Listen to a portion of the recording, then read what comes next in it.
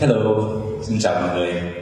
À, tôi là Liên Quang Lê và tôi là một người mê cải lương. À, có lẽ nếu mà các bạn à, nghe đến tên tôi trong thời gian qua thì à, các bạn à, nghe đến tôi trong cái vai trò là đạo diễn phim.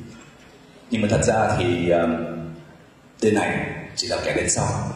Còn đối với tôi, tình yêu đầu tiên của tôi là cải lương và hôm nay tôi đứng ở giữa sân khấu này uh, chia sẻ điều này một cách rất là tự hào. Uh, và chính cùng với cái điều này mà trong thời gian qua tôi được uh, rất là nhiều cái sự ưu ái uh, cảm mến từ khán giả uh, báo chí. Uh, nhiều khi còn gọi âu yếm gọi tôi là liên quan đến người con xa xứ chắc uh, cho thẳng đậm với cải lương. Um, tôi cũng được nhiều uh, trường học mời đến nói chuyện với tư cách là truyền cảm hứng về uh, một người trẻ um, yêu mến cái văn hóa nguồn cội của mình. Và đây uh, đây không phải là um, cái điều thường xuyên xảy ra mà thật sự ra cái mối tình của tôi và cải lương uh, nó chưa bao giờ suôn sẻ như vậy. Tôi uh, sinh ra trong một cái gia đình uh, người bắc uh, trong gia đình không có ai theo uh, nghiệp diễn à, hay là theo đuổi nghệ thuật cả. Nhưng mà từ nhỏ thì cải lương đã có một cái gì đó rất là quyến rũ đối với tôi. À, bố mẹ gia đình thì không có ai ngăn cấm cả và thậm chí à, mặc dù không ủng hộ nhưng mà mẹ tôi vẫn luôn cho tôi tiền để đi mua báo sân khấu để đi mua băng đĩa à, sưu tập hình nghệ sĩ. Nhưng còn những người xung quanh à, thành viên gia đình bạn bè và những người quen ngoài xã hội không hẳn là những lời trêu chọc ác ý chỉ là những câu bẩn cợt. Qua đường tôi nhưng mà trong cái tâm trí uh, trẻ con của tôi tôi cũng sớm nhận ra được rằng cải lương nó cái sở thích về cải lương của tôi nó có một cái gì đấy nó không có hợp thời với số đông. Nó có một cái gì đấy um, không có văn minh theo cái hướng người ta nhìn về tôi và tôi cũng nhận sớm nhận ra rằng cải lương thường dùng là một cái tính từ để miêu tả cái gì đấy. Nhà quê sền sợ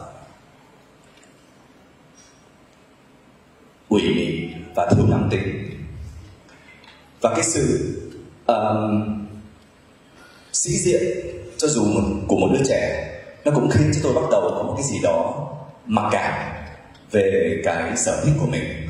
Và dần dà vô trong trong cái vô thức đấy nó biến cái mối tình của tôi và cải lương thành một cái mối tình vụng trộm. Nhưng mà dầu vậy tôi vẫn âm thầm ôm ấp cái giấc mộng của mình khi lớn lên trở thành một nghệ sĩ cải lương. Um, nhưng mà cái giấc mộng đấy tôi lại gói lại mang theo vào năm 13 tuổi khi mà tôi theo gia đình uh, đi định cư ở Mỹ. Khi mới đến Mỹ thì gia đình tôi sống ở Orange County là um, ở California là một tiểu bang mà nhiều người Việt nhất nước Mỹ. Mà gia đình tôi còn ở gần uh, Phước Lộc Thọ là một cái trung tâm mua sắm của người Việt. Um, ở nơi đây thì có bán rất nhiều hàng hóa nhập từ Việt Nam qua và nhiều nhất là băng đĩa cải lương. Um, 2000 cái cái cái thập niên ờ, 90 là cái thập niên mà băng đĩa cải lương rất là thịnh hành. Và Việt kiều order rất là nhiều nghệ sĩ Việt Nam để làm những cái video cải lương để đưa qua Mỹ. Thì đây là cái khoảng thời gian mà tôi cứ nghĩ rằng khi mà qua Mỹ thì tôi và cải lương sẽ xa cách nhau hơn. Nhưng mà thật ra đây là cái khoảng thời gian mà tôi có thể đến với cải lương nhiều nhất gần nhất bất cứ um, bất cứ lúc nào. Nhưng mà đây cũng lại là một cái khoảng thời gian oái oăm hơn là vì tôi lại càng phải che giấu cái sở thích của mình. Ờ, ở Mỹ họ có cái câu nói đó là fresh off the boat để chỉ về những người Á Đông khi vừa mới định cư. Um, mà thường là những người Việt nói với nhau và những người trẻ nói với nhau những những bạn học sinh những bạn sinh viên để phân chia giai cấp.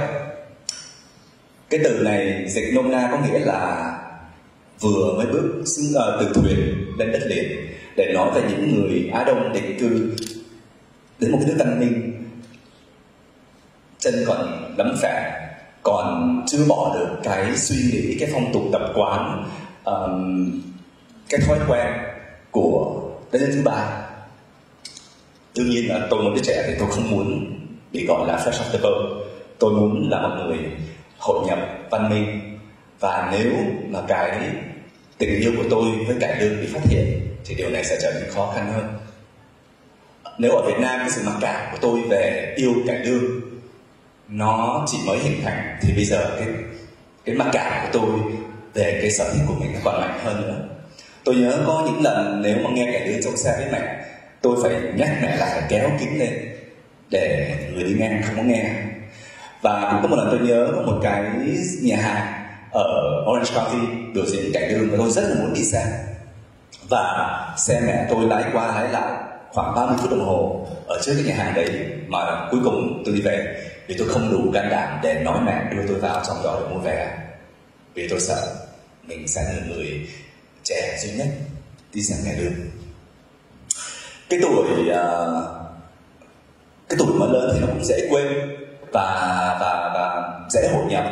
Và hơn nữa bây giờ tôi cũng có một cái đam mê mới của mình để thế chỗ cho cái đam mê cải lương đã bị giang dở. Đó là cải lương mỹ ở nhạc kịch broadway.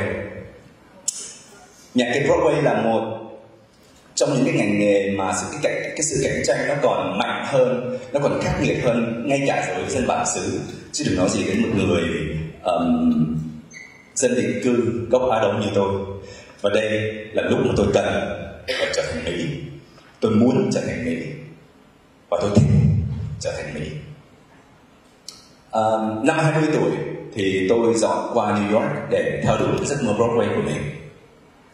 New York là một cái thành phố đa chủng tộc và ở đó khi bạn sinh sống thì bạn sẽ không suy nghĩ nhiều về cái cái ờ, cái sắc tộc của bạn cái cái nguồn gốc của bạn. Tại vì quá nhiều chủng tộc thành ra cái chuyện nó trở thành bình thường ai cũng như ai chỉ là dân New York với nhau thôi. Và nhất là trong dân nghệ sĩ với nhau và tôi từ từ từ từ um, tôi cũng xa dần với những cái gì mà gọi là văn hóa Việt của mình. Nhất là khi ở New York thời điểm đấy chưa có nhà hàng Việt nhiều chưa có tôi không có một người bạn Việt Nam nào ở New York cả. Tôi dần dần quên những cái thói quen thuộc về văn hóa Việt. Tôi không còn uh, ăn Tết tôi không còn nghe nhạc Việt. Tôi không còn sử dụng tiếng Việt. Ngoại trừ nói chuyện với bố mẹ ngay cả anh chị em trong gia đình chúng tôi cũng sử dụng tiếng Anh với nhau và cái thói quen nghe cải lương của chúng tôi cũng bắt đầu uh, dần dần bị lãng quên. Và cái thùng băng cassette cải lương của tôi ngày xưa bây giờ cũng chỉ nằm ở trong cái tủ uh, để mà bán bụi mà thôi. Năm 2002 uh, à, đây là những cái vở một, một trong những cái hình ảnh vở diễn ở New York. Um, năm 2002 thì tôi tham gia một cái vở diễn gọi là Flower Drum Song là ờ, một cái vở nhạc kịch của Roger Hammerstein. Lao Drum Song nói về Wang Tha là một thanh niên Trung Quốc thanh niên Mỹ gốc Trung Quốc vì ái mộ vì muốn trở thành uh, một người Mỹ người người, người Mỹ. Uh, anh ta yêu văn hóa Mỹ yêu những cái mới những cái những cái mà cho ta anh ta cho là sang trọng. Và anh ta chối bỏ cái nguồn gốc uh, chính là cái văn hóa kinh kịch của bố của gia đình anh ta.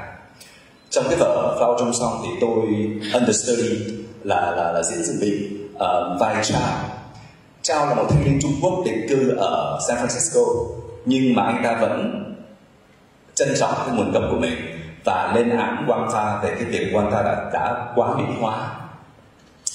Để mà chuẩn bị cho cái vai diễn của mình tôi đã phải cố tìm những cái liên kết những cái kết nối để mà đồng cảm với nhân vật của mình um, để mà hiểu được cái động cơ hành động của nhân vật mình là gì. Và tôi có một cái khoảng thời gian hơi khó khăn để mà tìm ra cái việc này. Cho đến một đêm uh, sau một giờ diễn thì tôi đi ăn ăn tối với các bạn.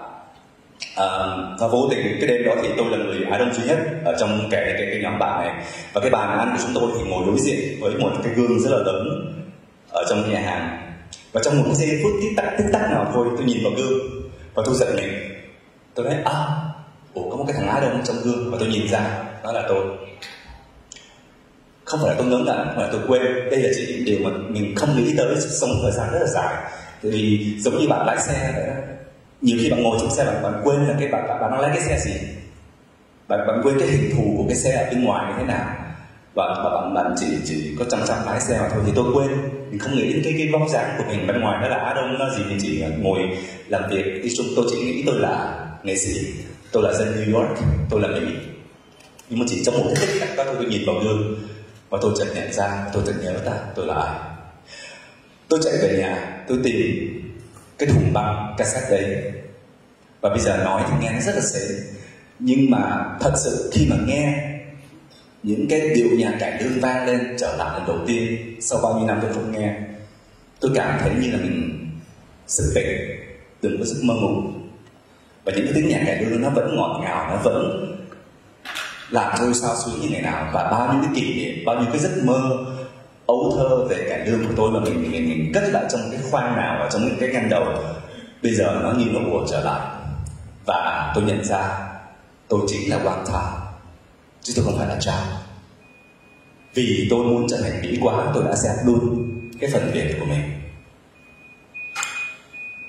Ở cuối vở Flower trong son um, ờ, mỗi người nghệ sĩ sẽ bước ra giữa sân khấu và dõng dạc sướng lên tên và nơi sinh của mình. Không có một đêm nào khi mà tôi bước ra giữa sân khấu và tôi nhìn xuống khán giả và nói Leon Quang Lê, Sài Gòn, Việt Nam mà tôi không ngại ngào là vì bây giờ tôi đã biết mình là ai. Tôi đã nhớ được mình là ai. Và tôi hãnh diện mình là ai. Và chính cải lương đã giúp cho tôi nhớ được việc này. Vậy mà sao có thể có lúc tôi đã xấu hổ vì cải lương? Tại sao có lúc tôi đã cố quên cải lương? Tôi nhận ra rằng khi mà tôi cố quên cải lương là tôi cố từ, từ chối bản thân mình. Quên cải lương quên cái phần việt của tôi không làm cho tôi mỹ hơn mà nó chỉ làm cho tôi trở thành một kẻ dở dở ương ương mỹ không ra mỹ việt nam không ra việt nam. Trong lúc đó cải lương vẫn âm thầm vẫn chờ đợi vẫn đón chờ ngày tôi trở về. Và tôi quyết định tôi phải làm một cái gì đó để đền bù cho cải lương vì tôi đã nhận ra trong nhiều năm qua, tôi đã là một kẻ bạc tình. Và 2018 gần 10 năm sau, thì tôi đã hoàn thành được cái ước nguyện này và tôi thực hiện song lan, hoàn thành đúng năm 100 năm sinh nhật của cải lương ở ngày, vào ngày sinh của cải lương.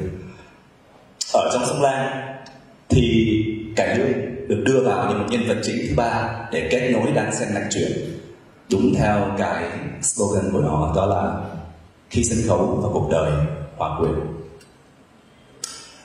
Tuổi thơ của tôi cải lương đã cho tôi một tuổi thơ vô cùng phong phú và bay bổng. Và khi lớn lên, khi trưởng thành, chính cải lương là tiếng gọi đưa tôi trở về lại với quê hương của mình. Tôi yêu cải lương tôi hãnh diện vì cải lương tôi mê cải lương và bây giờ không bất cứ kỳ một ai trong quê tôi vì điều này nữa. Chỉ có Việt Nam mới có cải lương và tôi cảm thấy vô cùng may mắn. Tôi là người Việt Nam. Xin cảm ơn.